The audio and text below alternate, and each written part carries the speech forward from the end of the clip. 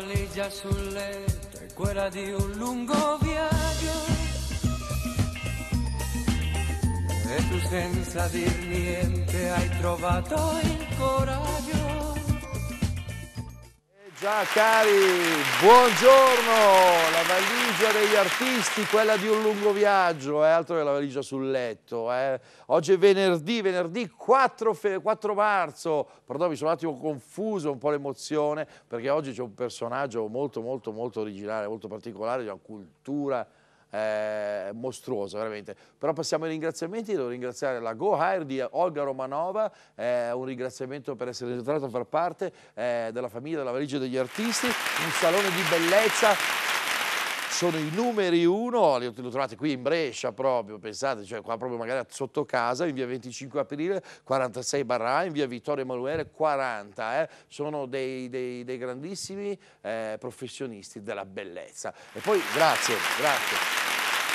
Devo ringraziare l'Acquarina in Bocca in via Lodi a Melzo, eh, dove la serietà e la professionalità sono all'ordine del secondo, neanche del mio, secondo, bam, bim, boom, bam, ci sono e danno il massimo per, per, per, per, soddisfare le vostre esigenze. E al Gatto e la Volpe, in via 24 maggio a Melzo, eh, dove fanno una pizza squisitissima, una cucina eccellente, passate a trovarli perché sono i number one. Bene, eh, devo ringraziare anche Carlo Oliva alla regia e Thomas Lanzi alla regia audio. Wow! Oggi sono gasatissimo che c'è un personaggio, oggi ne sentiremo delle belle, eh? voglio dire, eh, non esito, non, non, vi faccio aspettare, eh? non voglio farvi aspettare perché lui è un grandissimo e lui si chiama Tommy Ferretti. Ciao grande Tommy! Ah, che, Ciao, piacere. Che, che, piacere, che piacere incontrarti. Il piacere è mio. Allora, caro Tommy, io so che tu mh, mm, sei un ex calciatore, poi, per caso e per sbaglio. Per caso e per sbaglio, però hai giocato, voglio dire, insomma, eh, a, a da professionista, livelli. a buoni livelli. Ecco. Poi cosa è successo? Perché io questa puntata, dal mio ho letto la tua biografia, non sono bastati veramente, eh, non è bastata mezz'ora, ero a metà. Cioè vuol dire allora a questo punto ho preferito che tu parlassi di te. Certo. Questa è una bella cosa. Raccontaci, Ma raccontaci eh, racconta ai nostri telespettatori chi sei. Sono... Ci sono due cose. Intanto, quando mi hai chiamato, mh, mm, volevo entrare dandoti la schiena. Perché? Perché? Perché eh, il motivo per cui sono qua è, è un motivo preciso. Cioè, tu stai facendo un programma di servizio. È una cosa importantissima. sono venuto proprio perché tu sei una persona che dà voce a coloro che spesso non vengono ascoltati e che hanno cose da dire. E quindi entrare al contrario significherebbe fare io un'intervista a te. Bene, bene, non sarebbe male. Allora, quindi... visto, visto, che dovresti farmi questa intervista, cosa che accetterei ben volentieri, chiederei gentilmente al, al caro Thomas un, sotto, un, sottofondo, oh, che cominciamo a creare un po' la coccola della guaira, eh, certo. dell'armonia. Della... Bene, allora raccontami Beh, un po'. Eh, appunto, stavo, stavo, dicendo che eh, la valigia degli artisti è una valigia sempre, sempre piena, gli artisti sono tanti e eh, più sono bravi e meno fanno. Questo è, ah. il, è, il, mio concetto, ne ho conosciuti tanti e quindi è meritorio quello che fai perché stai facendo un programma che, che, che, che, è importante perché la voce delle persone è importante. E poi è il 4 marzo oggi. 4 marzo, e certo. quindi volevo fare un saluto a un caro amico che non c'è più. Il grande Dalla. Lucio Dalla, certo, Lucio Dalla. E quindi Mamma mia.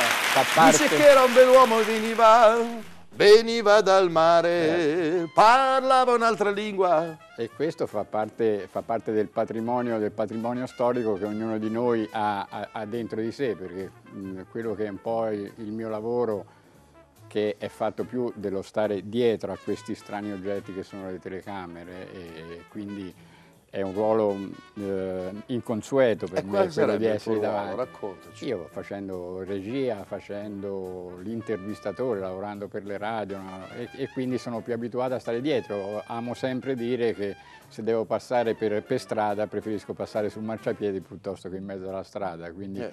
non è il protagonismo che, che, che, che, mi interessa, che mi interessa nella vita. Però le esperienze che uno ha vissuto e non te le toglie nessuno. Cioè, quando io racconto di Andrea Bocelli, per esempio... Eh, dai, che ci interessa molto questa eh, cosa. E, e, lo racconto volentieri perché Andrea io l'ho conosciuto quando andava a scuola con una mia fidanzatina. Pensa a te. E purtroppo aveva il problema che ha sempre avuto fin da dieci anni, cioè essere non, non vedente. Perché e, lui prima dei dieci anni lui sì, vedeva, sì, sì, ma è, cosa, è, cosa, è successo? lui è stato, è stato, in parte vittima anche di un incidente. Ah, e, povero. E quindi, mh, dicevo, i, i, casi della vita, io questo ragazzino che accompagnavo a, a prendere l'autobus insieme alla mia fidanzatina, poi l'ho riscoperto dopo quando Oh, gli ho fatto la prima, e posso dirlo perché, perché, è così, la prima intervista importante che lui ha avuto quando io lavoravo per tutto musica e spettacolo della, di Sorrisi e Canzoni. E mi chiedono se avevo un artista sotto mano che secondo me valesse la pena intervistare. Io proposi appunto Andrea, eh, che ancora aveva fatto poco, era ancora, appena stato contattato da Zucchero per fare Miserere. Certo, che poi è stato il, il brano che poi, eh, grazie sì. anche a Pavarotti, Ecco, che ci mezzo e, anche il suo, e quel, il suo CD, e quel CD porta le foto fatte da me.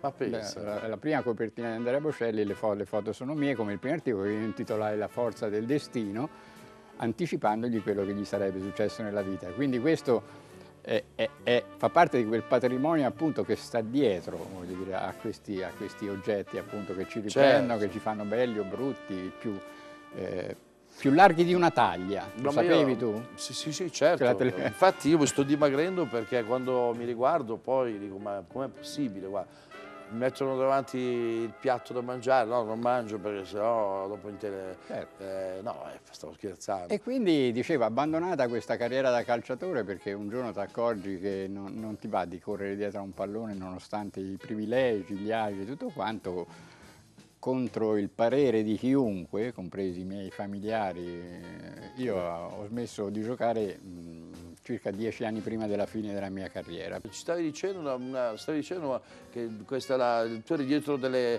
delle, sì, delle macchine no, a ero, ero come, no? cioè, voglio, ho, un piccolo ho, paesino delle Marche. Mi, mi piaceva, quando eh. appunto ho visto Nuovo Cinema Paradiso, mi piaceva pensare che fosse la mia storia, perché ah. vivere appunto il cinema da una piccola cabina di proiezione di un piccolo paese mi dava la possibilità di capire cos'era la celluloide, quindi vedere certo. anche eh, le, famose pellicole, le famose pellicole che bruciano, per cui la gente che si lamenta perché non riesce a vedere lo, la, la, la, la, parte di film. E queste luci, il capire che dietro c'era tutto un meccanismo è quello che mi aveva portato poi ad appassionarmi appunto al mondo dello spettacolo, che poi ho così non ho intrapreso perché a 14 anni hanno scoperto gli altri che ero un, un, un talentuoso. Un, un, piccolo talento del calcio eh. e lì per lì la cosa mi è piaciuta perché c'era la passione, c'era tutto. Poi quando scopri che il calcio è una schifezza ti viene voglia di andare via. Eh, senti, Scusa, ma... uso, uso, parole di questo tipo, ma io non amo, ma no, vabbè, ho i peli sulla barba ma non ce l'ho sulla ma lingua. Ma sa che ogni sport eh, insomma, c'è, il suo perché, il suo, il suo fascino, eh. le sue problematiche, ma eh, so che sei stato per tanto tempo un ottimo speaker radiofonico, eh, vuoi raccontarci un pochettino questa avventura? Hai intervistato mezzo mondo, eh, so sì. che tu hai un sacco di conoscenze, sei una persona chiaramente di, sì, perché, eh, perché di spessore. Eh, io mi annoio facilmente nelle cose, quindi quando trovo qualcosa che mi piace, mi appassiona, e cerco di farlo e siccome non avevo mai fatto radio prima eh, e la radio è importantissima perché la radio è fantasia è certo. fantasia perché quando tu descrivi delle cose la gente le sente e le immagina come crede, un po' come leggere un buon, un, un buon libro. E allora, allora, ho cominciato a, a, sfruttare questa cosa con uh, due o tre mie, mie idee, al, al, di là delle interviste, voglio dire, agli amici dello spettacolo, ai Bonolis, ai Pippo Bauda, ai Renzo Arbore, eh, che sono persone che eh, conosco. Cioè, ma avete capito, cari telespettatori, certo. lo spessore, no, ma non lo, lo dico. di Tommy? Cioè, lui è, no. ha intervistato personaggi, è, è, amico di personaggi di grande spessore. No, ma, so, ma avuto... no, ci, ci terrei a dire che non, dai, non, che sei un grande artista. Che, dai, che, che non lo dico perché lo dico perché questo è il traino per poi fare quello che pensi. Perché io ho altri due programmi, uno si chiama Vaffa Radio, ah, okay. dove, dove, ci mando tranquillamente chi secondo me se lo merita, se lo merita. con nome e cognome e non, non, non do la carta d'identità perché non ce l'ho però eh, Beh, se, parlo, la cosa. Eh. se parlo di qualcuno, eh, e, insomma, parlare male di qualcuno in Italia basta pescare nel sacco, non è difficile. Certo, certo. E, e l'altro quale sarebbe? E l'altro si chiama Sale, pepe e peperoncino, che non è un libro di ricette di cucina, Eh? ma è tutto ciò che, di cui bisognerebbe parlare e che stimola, voglio dire, stimola il pensiero, stimola Ma su, un certo modo quale di profilo, essere. scusaci? Sotto Scusami. tutti, sotto tutti i profili, il profilo per esempio del rapporto uomo-donna, della coppia, Ah. delle differenze che ci sono, della, della- della politica, del-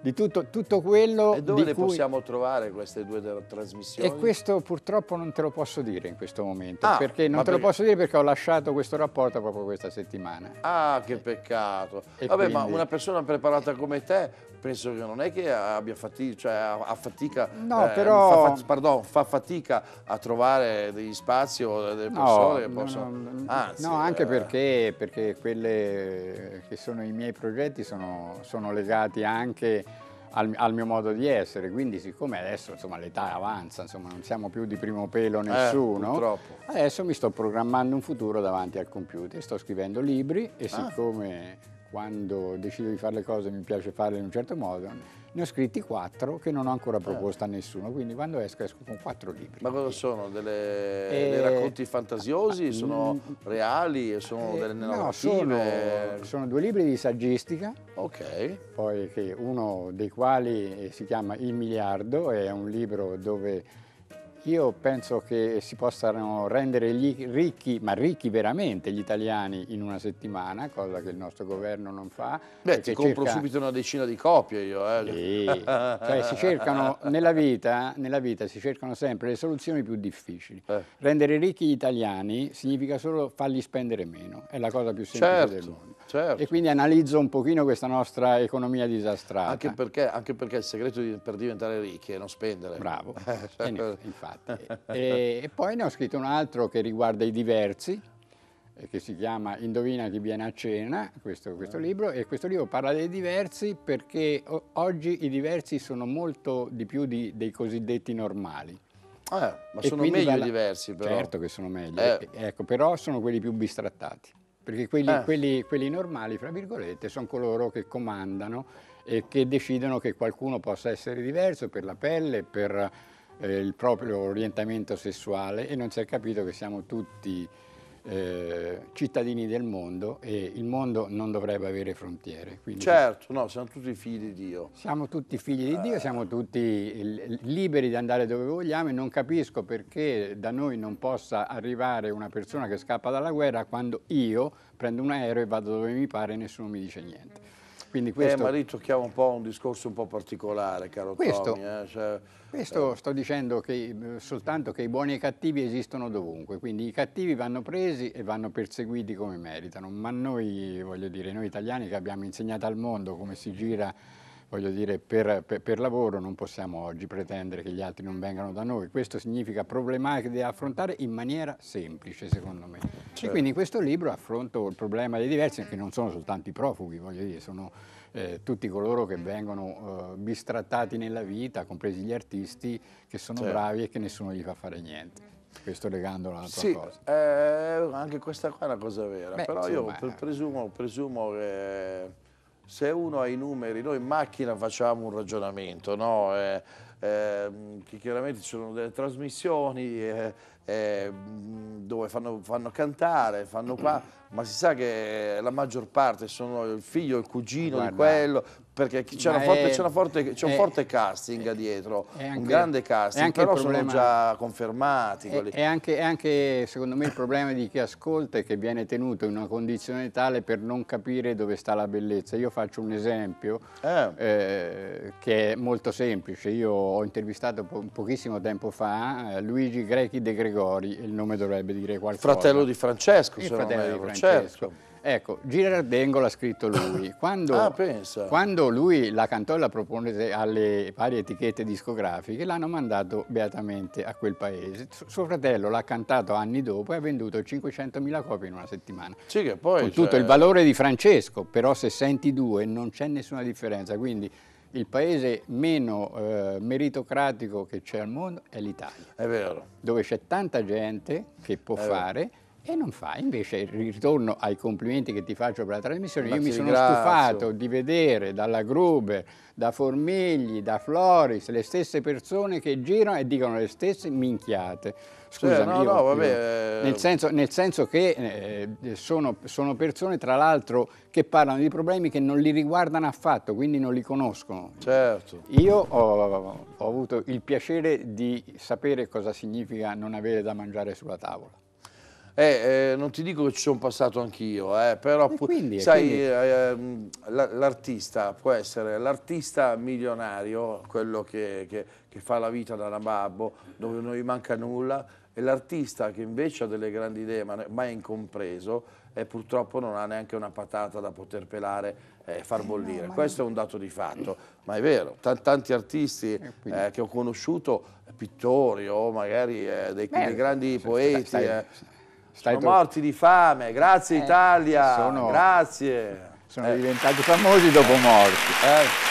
Eh. E comunque per concludere il mio discorso su quella che sarà la mia attività da ora in poi ecco. per qualche periodo, sempre che non cambierò poi dopo, ci sono altri due libri, uno è un romanzo di fantapolitica che mm. è ambientato nel 2017. Cioè perciò parlerà di un futuro? Un futuro quasi, quasi immediato dove, ah. dove spero così, che almeno io spero che la gente umile alzi la testa, perché la gente umile deve capire che fa parte di un grande eh, numero di persone che non contano niente, però questo, mh, questa popolazione umile deve capire che eh, l'unione fa la forza, si dice, no? certo. e allora facciamoci sentire. Ma soprattutto veramente, cari telespettatori, non bisogna mai sottovalutare le idee, perché le idee fanno la differenza, grandi fanno la differenza fanno la differenza. L'ultima cosa è l'ultimo... Sì, abbiamo tre minuti, siamo quasi L'ultimo libro che sto finendo di scrivere proprio in questi giorni si chiama La bussatina. Eh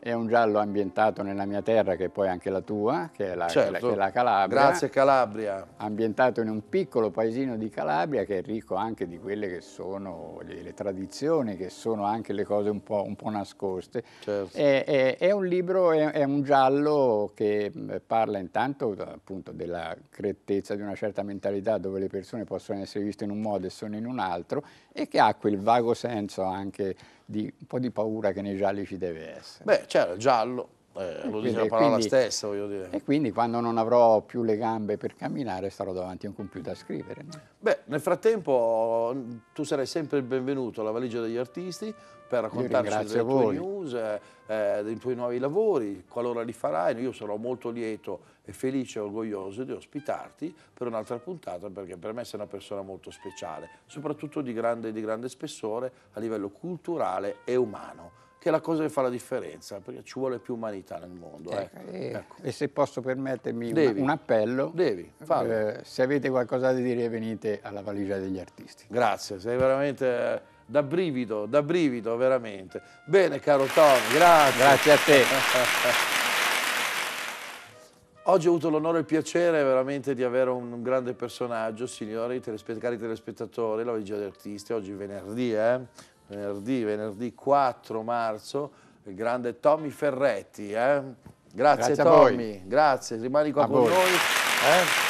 Allora, cari telespettatori, siamo arrivati a venerdì, abbiamo disquisito oggi ehm, una, una puntata molto, molto, molto originale, eh, mi è piaciuta moltissimo. Eh, chiaramente siamo al fine settimana, eh, mi auguro che passate un fine settimana sereno, in grazia di Dio, con le persone che volete bene, L'importante è stare bene, in serenità. Io farò la mia seratina, la mia cantatina, come sempre. Eh, questo è, il fine settimana che svolgo da sempre. Devo fare ringraziamenti all'International Artist e di Franco Mimmo Catulea, a Elio Color, chiaramente, e alla Olga Romanova, Golaire, Salone di Bellezza, eh, splendidi in via 25 aprile 46 barra A e in via Vittorio Emanuele numero 40 qui in Brescia, perciò passatelo a trovare perché sono delle promozioni del mese di marzo che sono fantastiche. Number one, poi devo eh, ringraziare l'Acqualina in Bocca eh, in via Lodi a Melzo dove la serietà e la professionalità sono all'ordine del minuto e Gatto e la Volpe in via 24 maggio, proprio dove c'è una pizza squisita con la pasta integrale, pasta verde o se no una cucina eh, deliziosa, il personale altamente qualificato anche lì e voglio fare un saluto a Gino e a Mary. Ecco, poi devo fare un saluto, grazie. Un saluto all'assistente di studio Lucy Fish, un bacio grande e poi devo chiaramente ringraziare Carlo Oliva alla regia e Thomas Lanzi alla regia audio. Grazie per esserci stati questa settimana alla valigia degli artisti. Un saluto da RTB Network. Ciao, ci vediamo lunedì con la valigia degli artisti. Un bacio!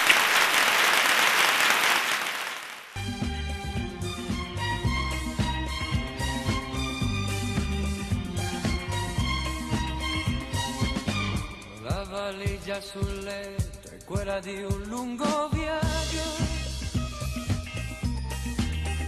E tu senza dir niente hai trovato il coraggio